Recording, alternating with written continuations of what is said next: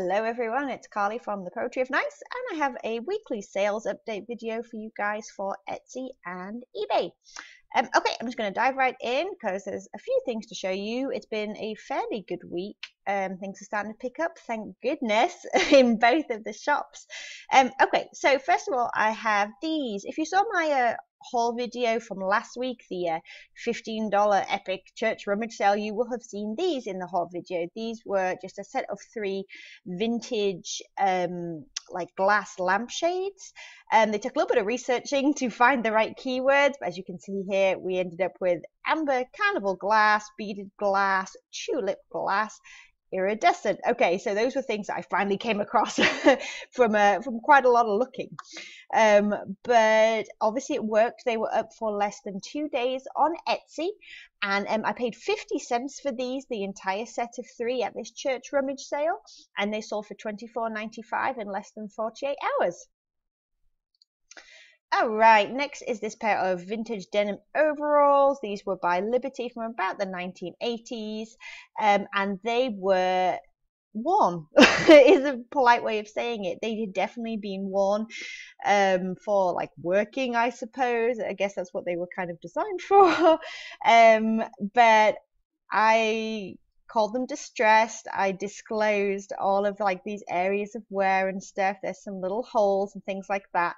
And they sold in, see right here, they sold in less than two weeks.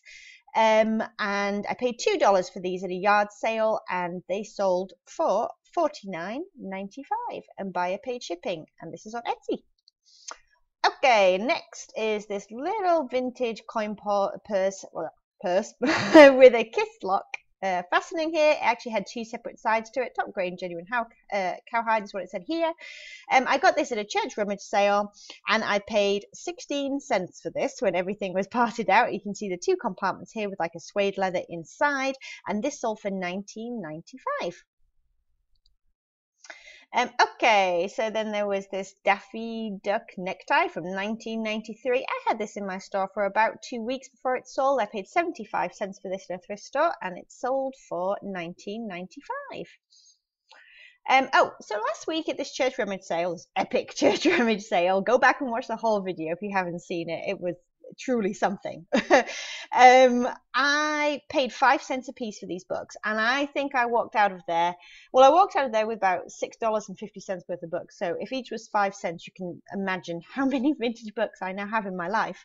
Um, but I talked to you guys in the haul video about what I do with them, right? So I picked usually the ones that I think are attractive or have a good subject matter, like in the title and things like that. Um, so, for instance, here you can see this one on the bottom, uh, prison and chocolate cake, and then this one here um, is called Poems That Touch the Heart. Getting the Most Out of Life is this other one. Just things that generally I think are attractive, I suppose, and that go together well as a set. Um, so using this as an example, five cents a piece at this rummage sale, and this set lotted together sold for $29.95. And as you can see here, what I do um, is I use keywords to do with like book decor, book decorations, bookshelf decor. Um, as you know, I'm selling these with the intention of people using them for home decor purposes. And these particular books are from the 1940s and the 1950s. Um, and as you can see here, they definitely did have some wear to them, but they were also quite beautiful. Okay, I had these in my shop for a little while actually. I'd probably say two to three months. And they were like this dusty pink color. Uh, they were by Luxottica um, from the sort of late 70s, early 80s. They were, I mean, I thought they were really cute if you know you can pull it off. um, I liked them. Um, but I bought these for $2 at a thrift store and I sold them for $39.95. Okay, I found this Miss Saigon, as in the musical theatre production, um, mug at a church rummage sale very randomly. I paid 40 cents for this there, as you can see the symbol on the back, and then 1988 down here. It sat for maybe mm, maybe six weeks, something along those lines. Paid 40 cents and it sold for 24.95. Uh, next is this pair of glasses. Um, these they just had made in Italy on the frames. I don't think they had an actual brand. Um, they were really hard to photograph. I bet you can tell by by looking at it. It's like, are they there? Are they really there? Um, but they were kind of these like light yellow clear color plastic frames, um, very 80s style. There was definitely a little bit of wear to the arms, which I disclosed. Um, but anyway, I paid $2 for these at a thrift store as well, and I sold them for $29.95. And the last Etsy thing this week is yet another pair of glasses. It's definitely been an eyeglasses kind of week. Um, these were, I thought these were awesome. They're so cool with like all this detailing and stuff on the bridge piece here. Um, I got these in a big old bag full of vintage eyeglasses that I picked up at a um, an estate sale a while ago. They just had a big like Ziploc bag, a, a big one, for I think it was two dollars they wanted for the entire bag, so I got it. And when I pieced it all out with what I was going to sell, this pair of glasses being one of them, it ended up being 18 cents, one eight um, per frame. So I sold these for 34.95.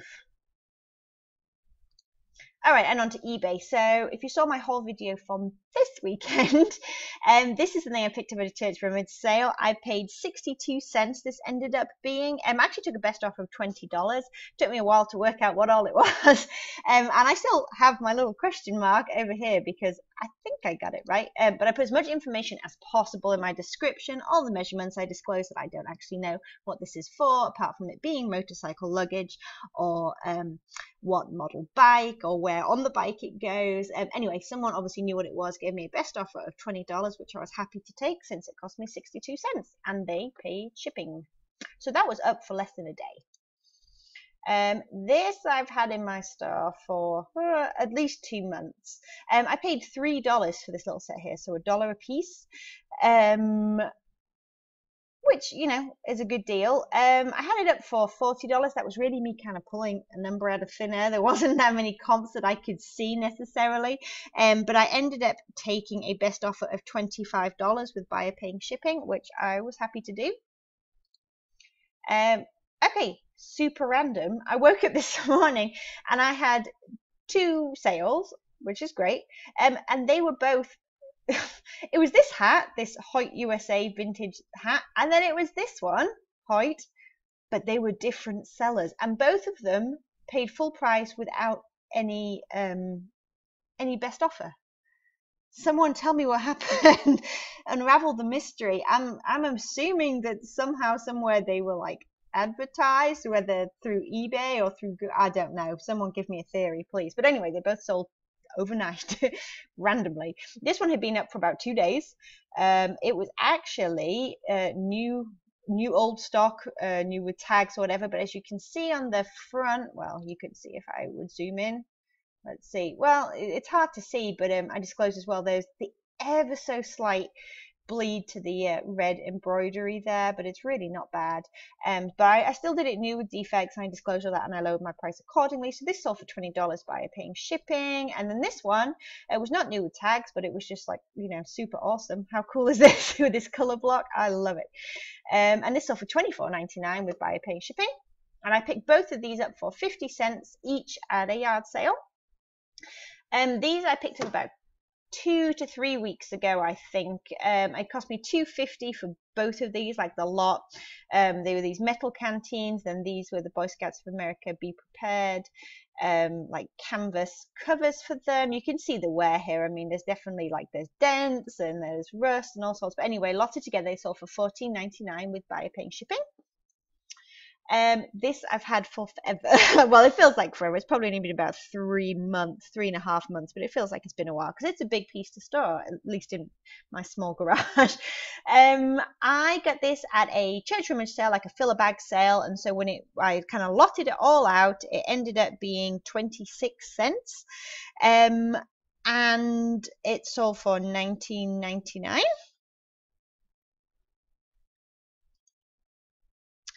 Um, this I got for 33 cents when it was all lotted out. Um, and it had this kind of like crazy African print on it. I mean, there was so much in here. I had no idea how to photograph this thing really to, to kind of get it all in, but I guess I managed. Anyway, um, I took a best offer on this for twenty dollars since I only had thirty three cents in it, um, and the buy page shipping on that too. And it was only up for about two weeks, I would say. Um, this I got maybe three weeks ago, and this was in a haul video as well. I got this at Goodwill when they were having a 50% off sale. So I actually ended up paying for this $2.50 for this zip up jacket. The brand was nothing terribly special. It was this Charles River apparel, um, but it did have this little apple symbol here, which is the reason why I bought it. It did have tags in still, um, not on the outside, but it had like these uh, these tags inside um, and it obviously it was in like brand new condition pretty much but um, because this apple symbol i figured i'll take a chance on it and it sold for a best offer of $40 in about a week i had it up i think so that was pretty cool and the very last thing is this Pepsi work shirt. I got four of these at that very same Goodwill um, half price sale. Um, so I paid $1.50 per shirt. I still have three left. As you can see, I still have two people watching it still. So I sold one of these. And they were all as well in used condition. They had some small marks on them, things like that, obviously disclosed and photographed as well. Um, but it's it's going that's awesome. All right, um, so let me tell you my numbers. So this week was definitely better. Um, I would say that my gross profit across eBay and Etsy for the last seven days was $471.63. Um, the total money that I spent on all of the items that I just showed you here, so just the products alone, was $19.85. That's the total investment I had in product.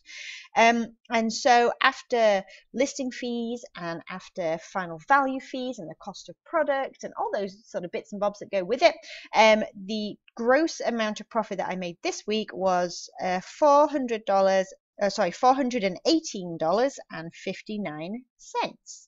Um, so $274.55 of that was Etsy. So Etsy did pretty good this time and I think about $197 was eBay so yay go Etsy keep going Etsy um, anyway, I hope you guys had a good weekend. I hope you found some cool stuff.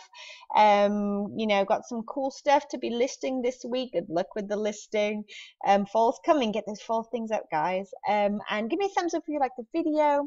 Subscribe if you want to see some more. Um, I do haul videos pretty much every week and sales videos every week as well. I share the ups and the downs. Um, some weeks are good, some weeks are not so good. I will let you know it all. and um, guys, thank you so much for watching. I hope you have an amazing week. Bye for now.